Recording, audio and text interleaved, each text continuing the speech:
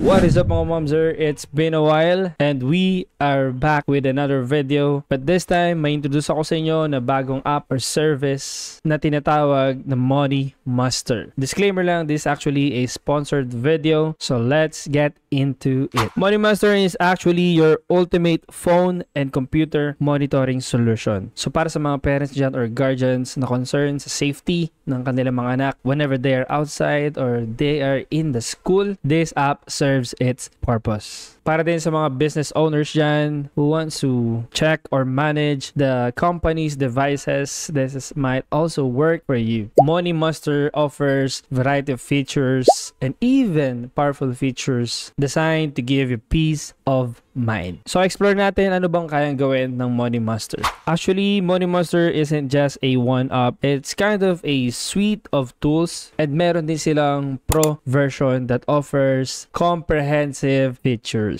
Available din ang Money Monster sa WhatsApp and even sa mga PCs natin. So this is what you call PC Sentry. So let's start with the core features. If you are already subscribed to the Pro version, unang-unang feature is yung real-time location tracking. So malalaman mo exactly kung nasaan yung loved ones mo or employees mo at any given moment. Pangalawa naman, we have call and SMS monitoring. So we can see all incoming and outgoing calls and text messages, even the deleted ones. We also have social media monitoring that is available for WhatsApp, Instagram, Snapchat, and more. We have browser history. So pwede mo view yung browsing history ng mga anak nyo, especially the minors to understand their online behavior. For computers naman, meron din tayong tinatawag na keylogger. So this can record every keystroke entered on the monitored computer. And also, meron tayong ditong remote control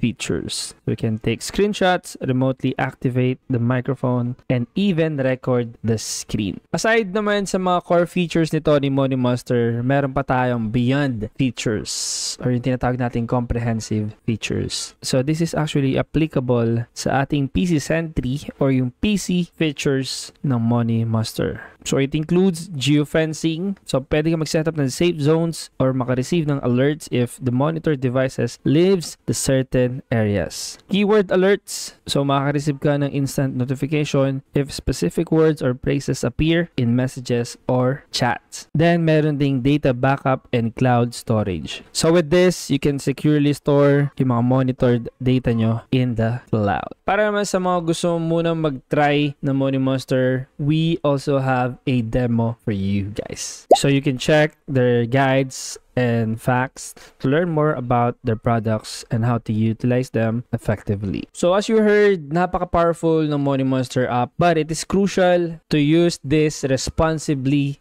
and ethically. Always make sure that you have the legal right to monitor or track the activities of these devices na meron kayo. Kaya naman marirecommend ko pa rin itong Money Monster. Lalong-lalo na para sa mga parents or guardians dyan na tutok sa kanilang mga trabaho. But still, you want to get hands-on sa mga chikiting nyo or sa mga anak nyo while you are not around. And also, para sa mga business owners, para naman ma-monitor nyo yung activity ng mga empleyado nyo if their tasks are being done right. And para sa mga interesado dyan, Money Monster is actually available in iOS, Android, and PC. So for compatibility, check their website or check it here.